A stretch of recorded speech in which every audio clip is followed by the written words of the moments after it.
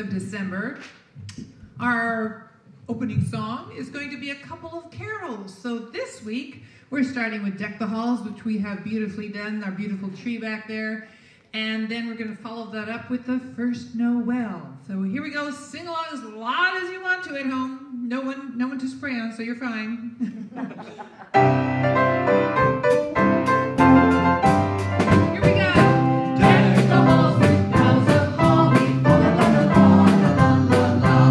friends.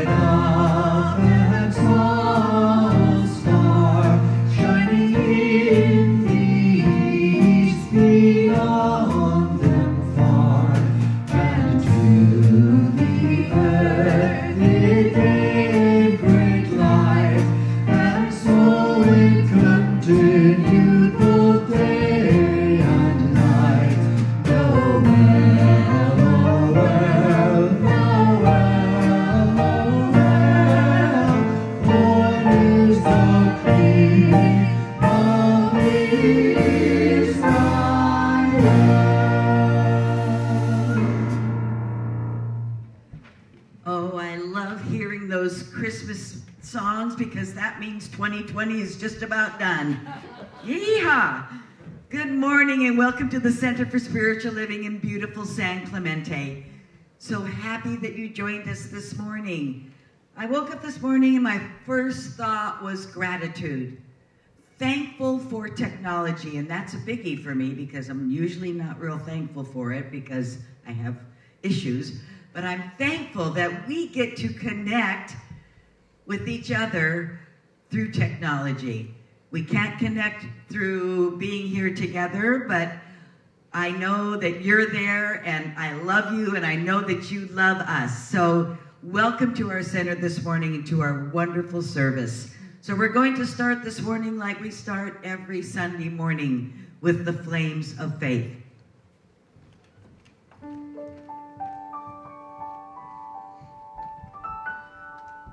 And we perform this ceremony to promote the universal consciousness of life which acknowledges that all peoples, all faiths, all sentient beings come from the one great universal presence that we call spirit. Fundamental to this truth is the unifying nature of all religious thought and experience, which we honor here today. We light the candle for the Tao, honoring the universal path of harmony and equilibrium, the natural way. We light the candle for the shamanic traditions, honoring the beliefs and the practices of all indigenous peoples, the way of primal spirituality. We light the candle for Hinduism, honoring the path of action, knowledge, and devotion. We light the candle for Judaism, honoring the ethical path of living by sacred law. We light the candle for all forms of Buddhism, honoring the Four Noble Truths and the path of compassion. We light the candle for all forms of Christianity, honoring the Christ consciousness as the path of love. We light the candle for all forms of Islam, honoring the path of compliance with the will of God as the highest calling. We light the candle for the universalistic religion of Baha'i, honoring the path of unity and the path of peace. We light the candle for all forms of new thought, honoring the metaphysical path of mental healing through the practice of universal spiritual principles. And as practitioner Rick Dale lights the last candle, let it represent the path that brought you here this morning. Thank you. Thank you, Rick. Please join me in affirmative prayer.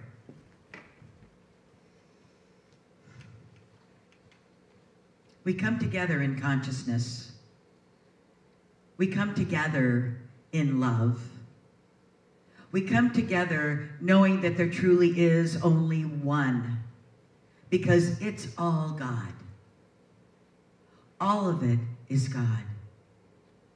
All the beauty, the intelligence, the love, the vitality, the understanding, everything is God. And I know that each and every one of us is an expression of all these qualities of spirit. As Rumi said, we are not a drop in the ocean. We are the entire ocean in a drop. We are the entire essence and the entire energy of God in, in individualized expressions of each one of us. We are the joy. We are the compassion. We are the light.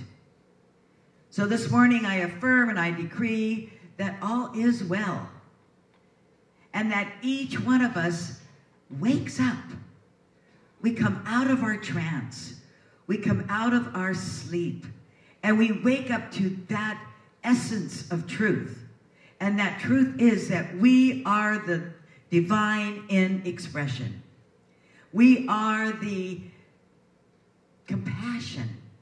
We are the understanding. We are the ones that express the love of God. So I know that we are awake, alive, and aware this morning, and that each one of us is filled with the zest and the enthusiasm and the joy of this holiday spirit, this holiday season and spirit. We are filled with that spirit. We are filled with that light. And so I place my words into divine mind, knowing that this service unfolds absolutely in divine right order, and that each one of us gleans the wisdom from Dr. Heather's talk this morning, from the beautiful music, from the wonderful meditation, from each and every aspect of this morning's service. And so I fill my heart with gratitude, grateful to be here, grateful that we are together, grateful for this teaching, grateful for the love that's in my heart. I have not placed this word into that medium of love. And I anchor this prayer in that love, in that confidence, and in that joy, as we say together, and so it is. And now, our affirmation for today. On this day of Advent, I create space between my thoughts and I let my heart lead. I affirm the peace of God as my welcomed companion. And now our declaration of principles. Let's say it together with all that feeling. I believe in God, the one creative intelligence operating through the universe and throughout my entire being, now and always. I believe this perfect spirit, spirit operates upon the law of mind and creates my experience exactly according to my belief. I believe this perfect creative intelligence can be used by me and by every other person to produce health, abundance, and love in mind, body, and total life experience. I use it now, and I rejoice in it, and so it is.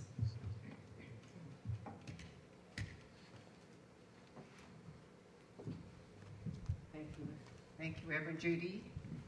We're going to have our meditation, and we're starting our meditation this month with an Allendale chant with spirit. So we'll let them start, and then it'll be a very short meditation that'll lead you in.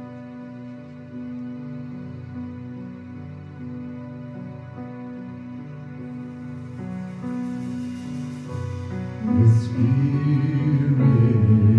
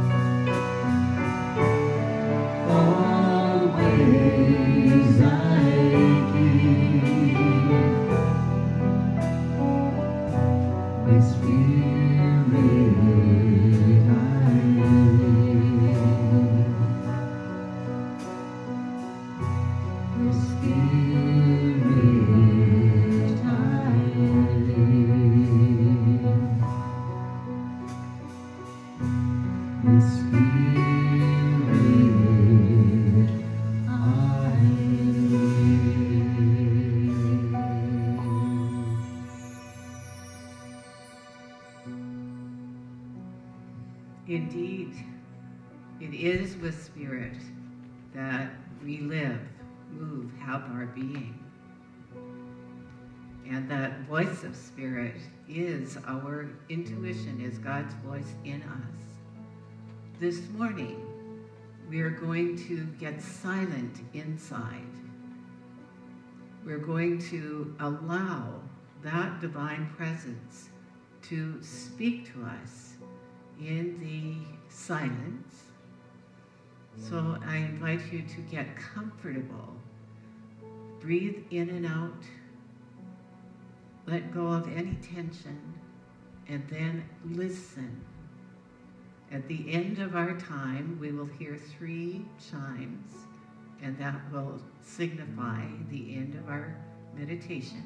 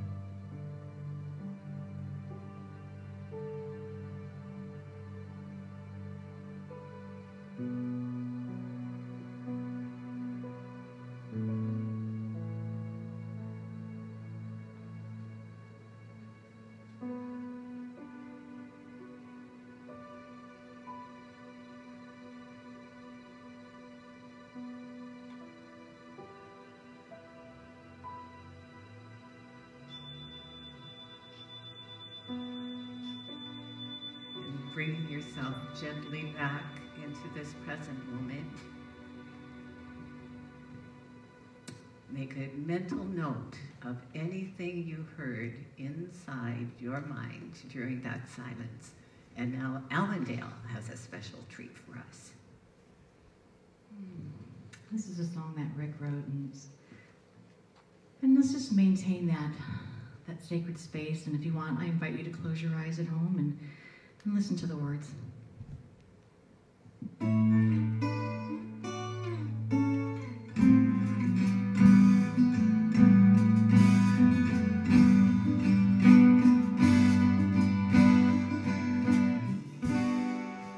With every breath,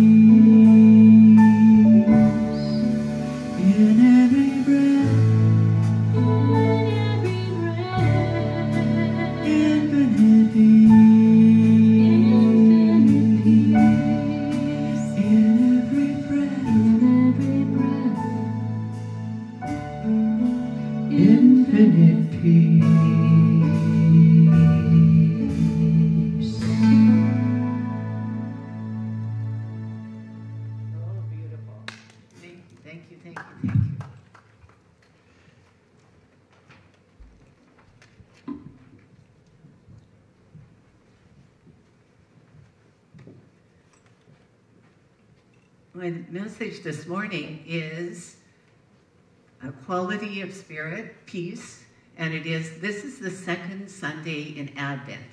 I was telling my um, my group, I I do a, a telephone call Monday, Wednesday, Friday. I was talking to them about doing this, and one woman said, "Oh, is that the is Advent when you get chocolates every day?"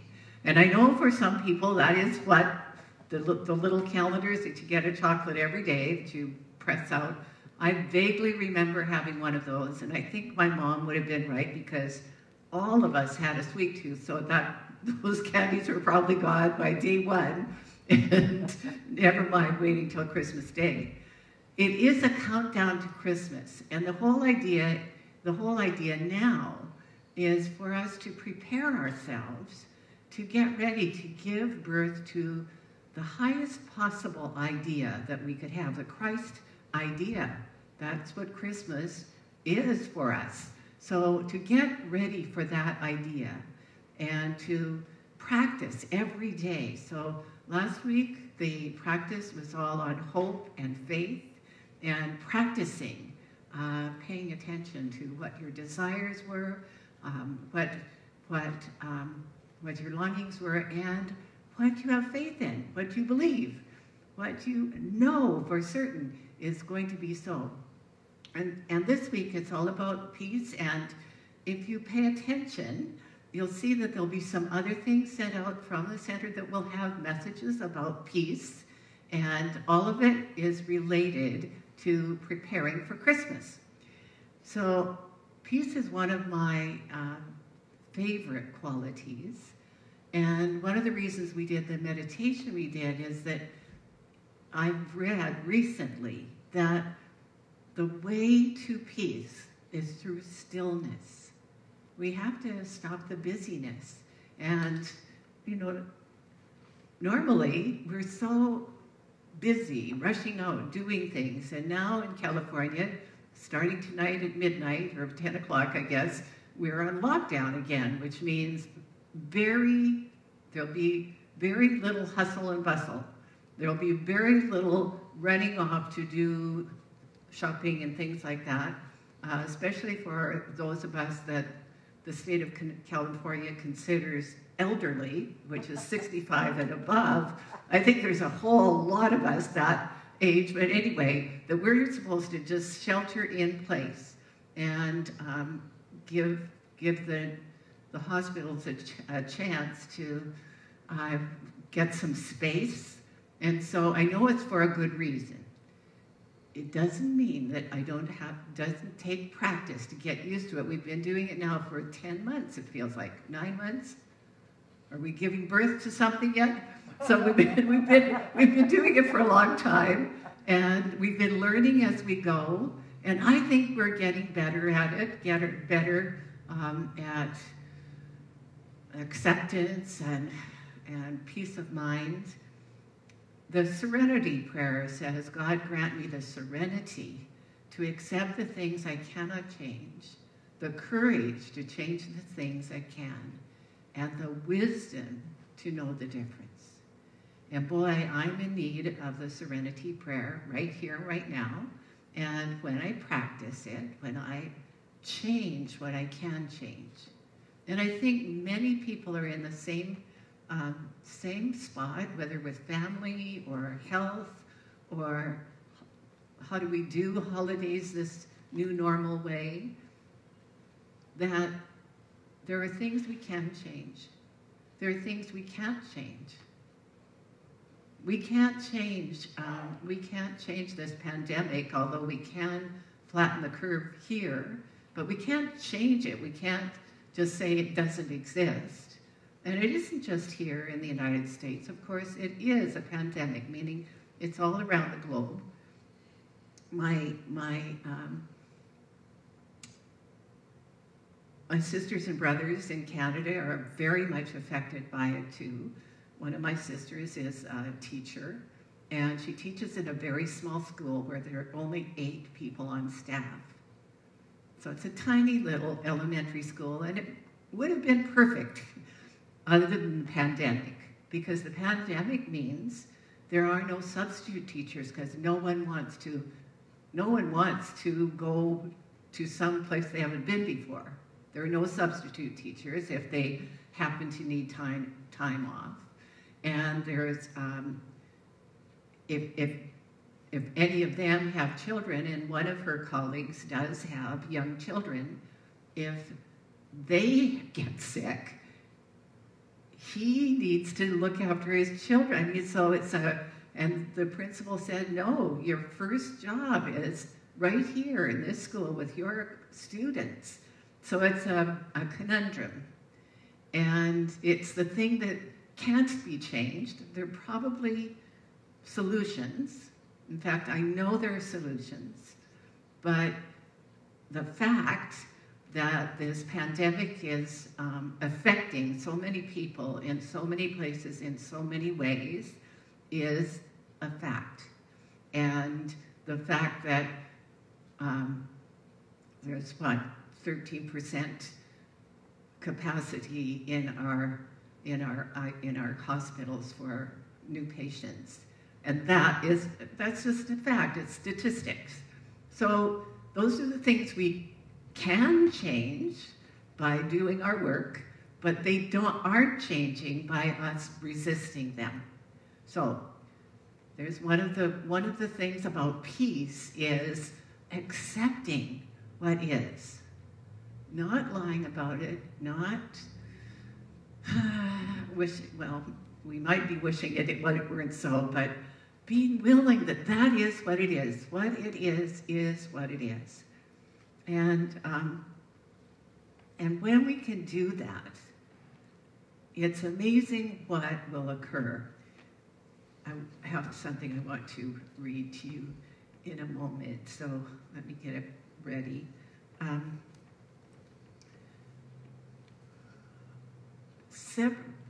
I don't know when, but our new spiritual leader, uh, Dr. Edward Viljoen, comes from South Africa. So, in addition to being a brilliant um, educator and speaker, of course, he has this wonderful accent, but he has a lot of traditions that um, could be old fashioned. And one of the things, he started singing this hymn, and he said, We all know it. Well, I didn't know it, but now I do know it. And I want to share a little bit about it with you. And the story is, it began in 1873. a mom, Anna, and her was taking her four daughters, 11 year old, 11 year old, 9 year old, 5 year old, and 2 year old, to France for the holidays. They were going to get there for Christmas. They were sailing over to France. They were going to get there, the, the City of Lights. They were going to enjoy the beauty and scenery. And, and um, their, the husband was going to join later. He was um, held up because of his business, but he was going to come, join them, and, and uh, share the holidays with them. And on November 22nd, Anna put her four daughters to bed, tucked them to bed. After having prayers with them at 2 o'clock in the morning, there was a great crash, and they had collided. Their ship had collided with, with a freighter. And um, she got the girls up onto the deck, and the people were trying to get into lifeboats. I guess it was a quite quite uh, there was quite a lot of um, chaos and so she she lost track of her the two older girls but she had each of the little ones in her one in each hand one in an arm one in with a hand and a huge wave came and washed them overboard and she held on to those little hands for as long as she could and then the the five year old was she was slipped away, and then the two year old, and she remembered seeing her get smaller and smaller and smaller. The last thing she remembered. She was found the next day on a plank with some other debris. Anna, none of the children were found, and taken to England, or well, taken to Wales. Um, I guess that was the nearest where they were, and um, she she was heartbroken. Of course, her whole family, all of her beloved children, had been lost. And they, it was supposed to be a happy time. They were going to celebrate and sing carols and dance and have, a, have parties and food and all sorts of great things. And something spoke to her because she, she said, I might as well just jump in with them and she heard, There's more for you to do here. There's more for you to do here. And she telegraphed her husband saying, Only I survive. What shall I do? And he immediately booked to go and join her. And he, of course, let the captain of the ship he was sailing on know what had occurred. And sometime in the middle of the night, when a couple of days out to sea, there was a knock at his door, and the captain uh, was there and said, "This is this is. You want to come out uh, to to the deck? This is approximately where the collision would have occurred." And he went out, and and he did not look down. He looked up. He said, They are not there. They are not under the sea. It was a stormy sea. He said, I know that my faith will serve me. And a couple of lines of this hymn came to him. When peace like a river attendeth my way, when sorrows like sea billows roll. Whatever my lot, thou hast taught me to say, It is well, it is well with my soul. And then the chorus just is, It is well, it is well with my soul. He and Anna went on to have three more children, their little boy, um, only boy that they had. Um, passed away at three years old with scarlet fever. I think we've forgotten how it used to be for people. Children didn't all survive.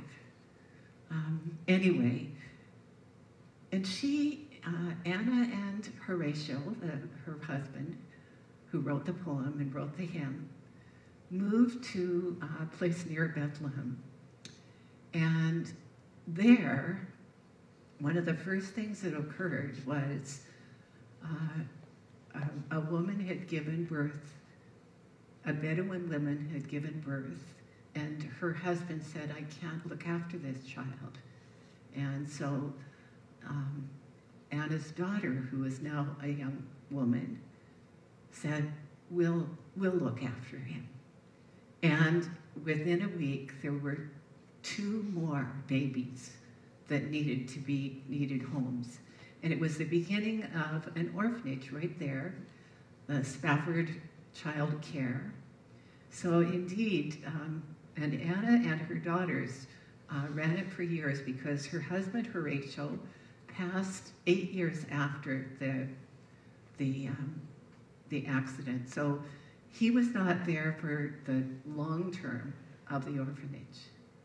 But in fact, spirit, whoever, whatever, whatever the voice was that Anna heard, it was so true. God, life, had need of her. There were children that needed her. And those children she was going to find in her future. So I know that's a very, it's a very, um, when I when I heard it, I was in tears for the whole thing. It was like this is too painful. But the ending is so good. It is so good because something really good, and it's not like those little lives weren't important. Of course, they were important. Of course, every life is important. But his Horatio's faith, both of them, knowing that there was more for them to do and to do it with faith remember he said, not just when my faith is attending, in other words, not when I'm full of faith, but also when sorrows are rolling like the sea. Thou hast taught me to remember all is well with my soul. And when all is well with our soul, when we know and know that we know that all is well with our soul, we are in that place of deep peace that Rick and Karyn just sang about. We're in that place of infinite love, deep peace, peace, the peace that passes understanding. And how can we get there this week? How can we practice being at peace? Well, bring the serenity prayer to mind. Bring to mind that you're being asked to accept what you cannot change and change what you can. And to wisely know the difference. To wisely know the difference. I know that there are people out there that have addicted people in their lives. And it's one of the things that people in the program here continuously have told me you can't change someone else.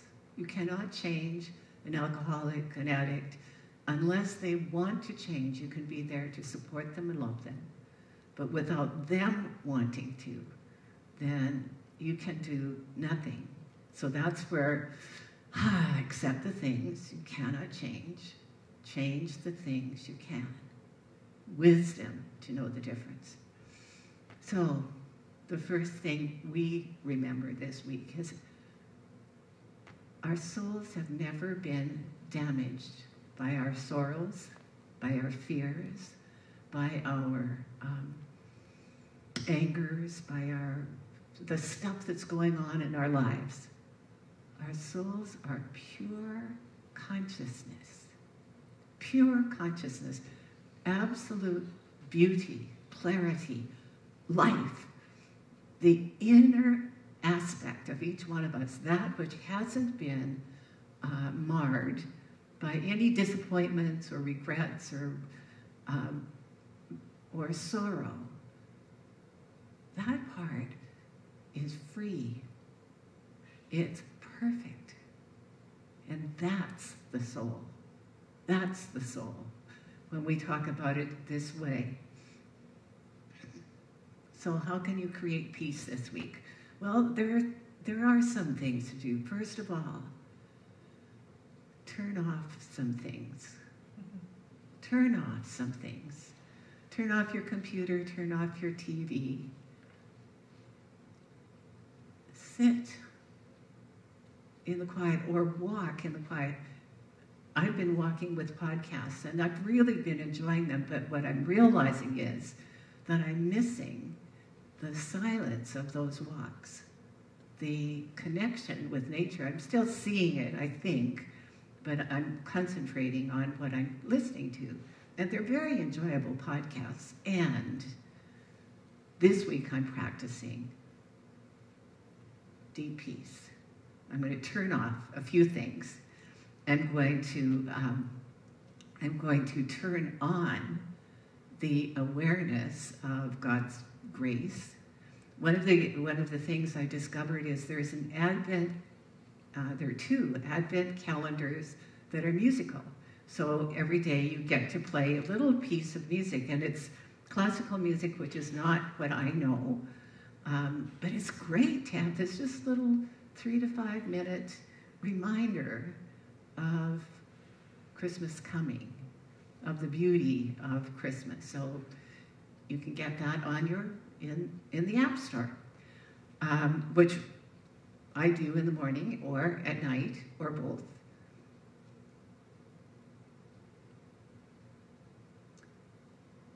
Think about the think about the um,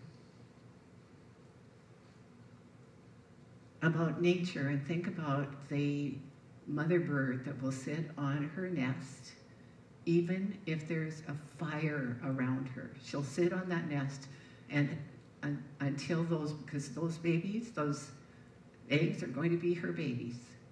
And they found, they found mother owls in, in forests dead from forest fires because they would not leave the nest.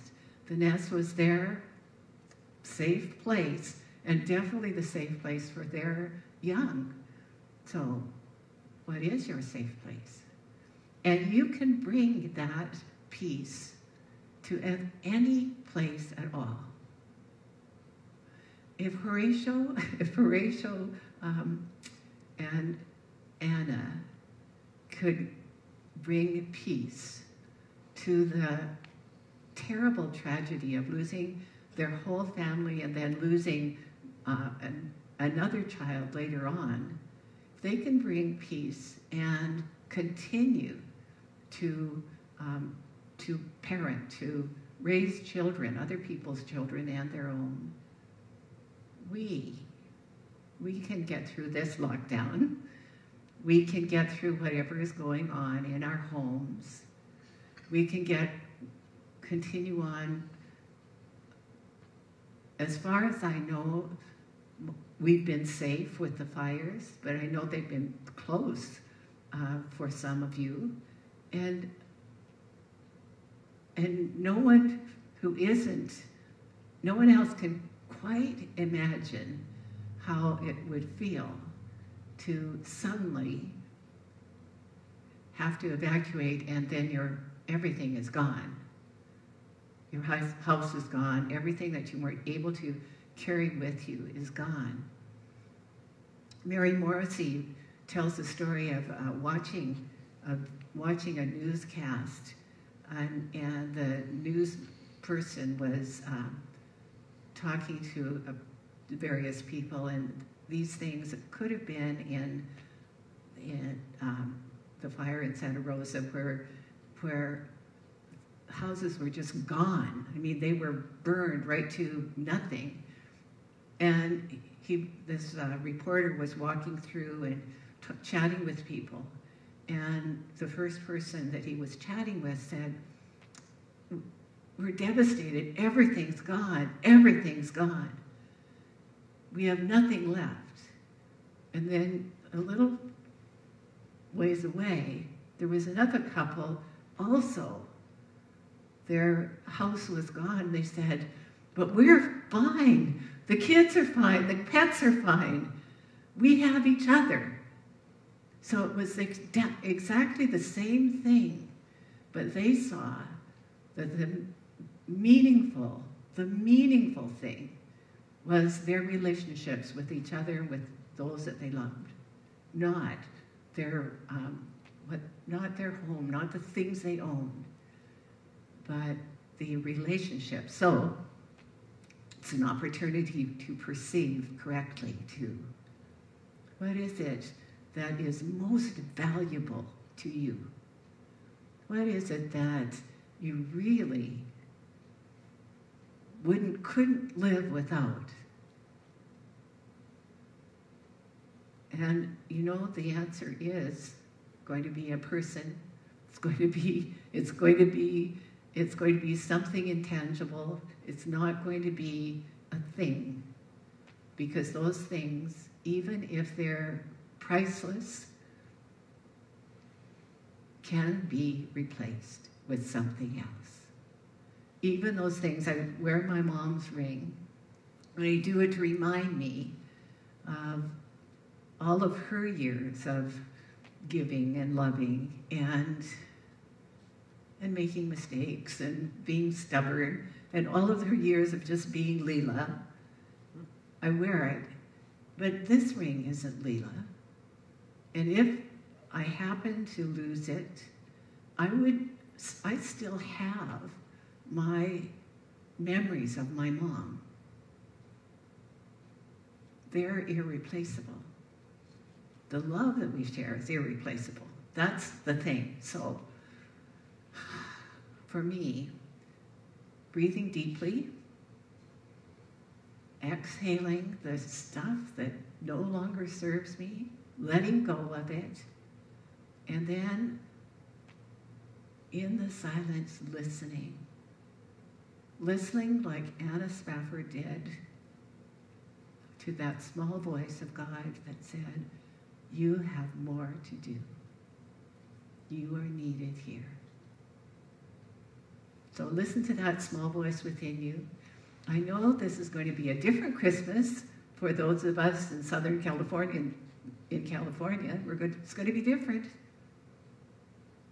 But I'm declaring that it's going to be significant, meaningful, and lovely for each and every one of us. If we want it to be so, it will be, and so it is. And so it is. And I will pray. I will pray now.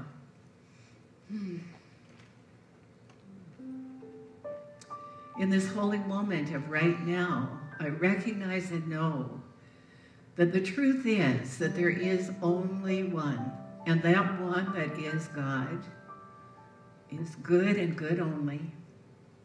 It is the thing that is beating my heart, that is breathing my breath, that it is, it is the wholeness that I am, everywhere present.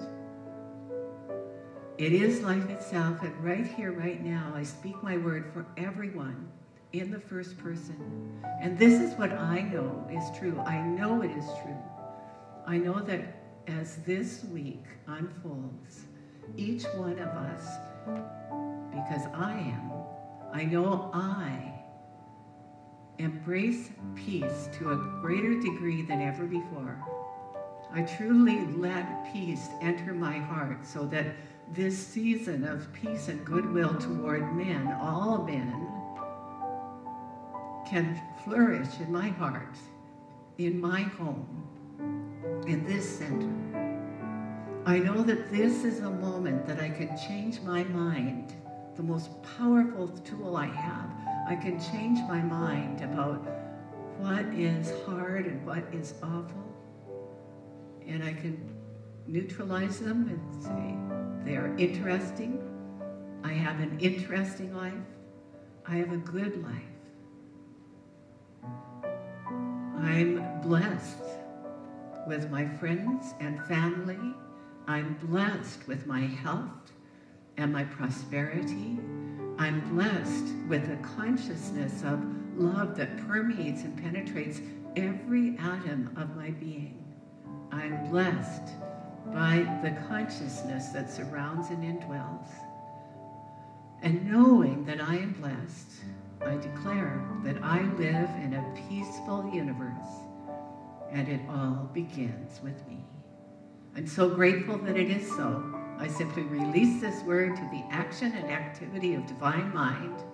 It is enough. It is done. And so it is. And now, Allendale.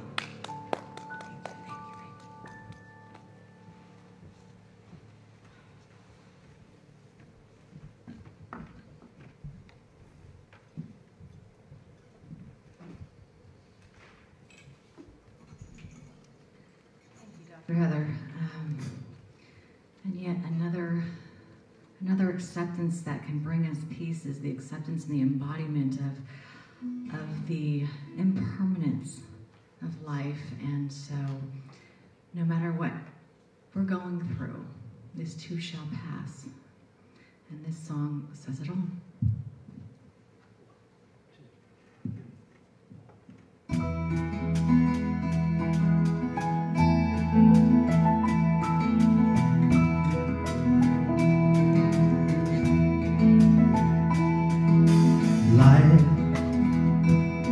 say It's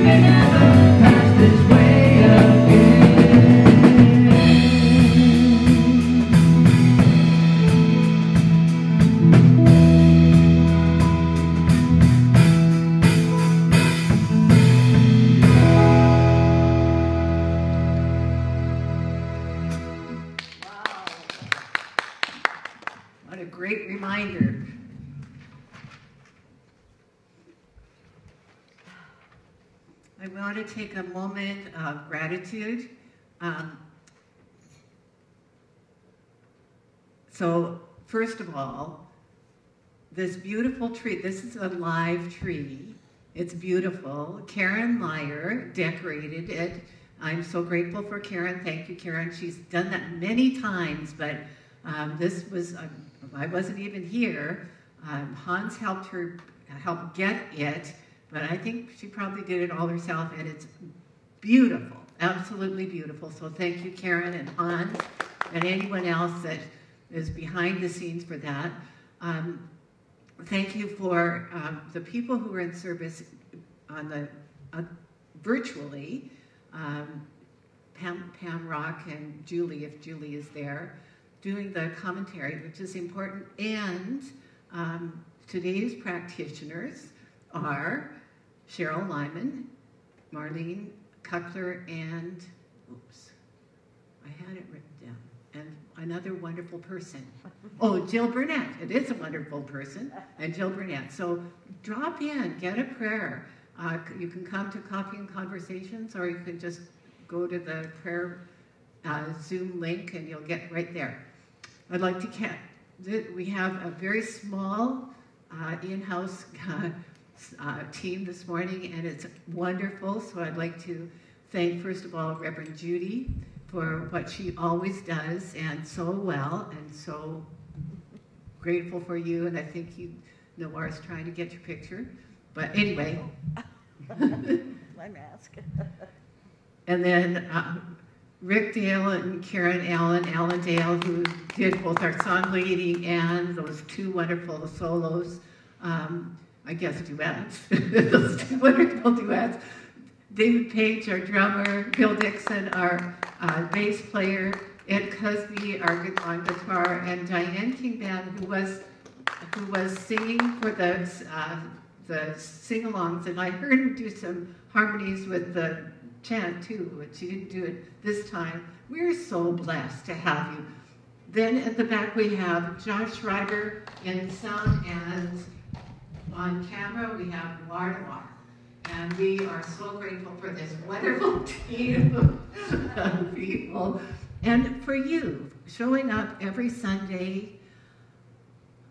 I know it's been, uh, I'm so grateful for you. Do we have a number for the, how much we've brought in for the, uh, over $4,000 came in for the sound equipment for the Fab 3. Wow. Wow, wow, wow. Thank you, all of you generous people. And I know that there was another fundraiser for, uh, for Giving Tuesday, and thank you to the people who did that too. Life is good. Um, okay, so I don't have any other announcements that I know of let's go to our closing. Oh, we'll, we'll do our money. Let's, let's take, give you an opportunity to give. Um, you can text to give. You can you can go to our website. You can um, do PayPal, or you can send a check here. You could bring cash. Whatever you, however you want to give, it's gratefully received. Gratefully, gratefully, gratefully received and uh, let's say our prosperity affirmation together. my offering is my acceptance of God as the source of my supply and symbolizes my faith in the abundant flow of this supply. So thank you, thank you, thank you. Thank you, Divine Mind, for that supply and for our new equipment. That'll be so much fun to see what we get and what a difference it makes. Uh, let's, we've got a wonderful closing song. It's a peace song, and it is so beautiful. Judy and I know it because for years we went to a luncheon and they sang, they sang this around the tables as the very last song that they sang at that luncheon. So it's a, it's a wonderful song. I know you'll learn it if you don't know it now, and you're going to love it. It's called Peace, Peace, Peace. Peace, peace.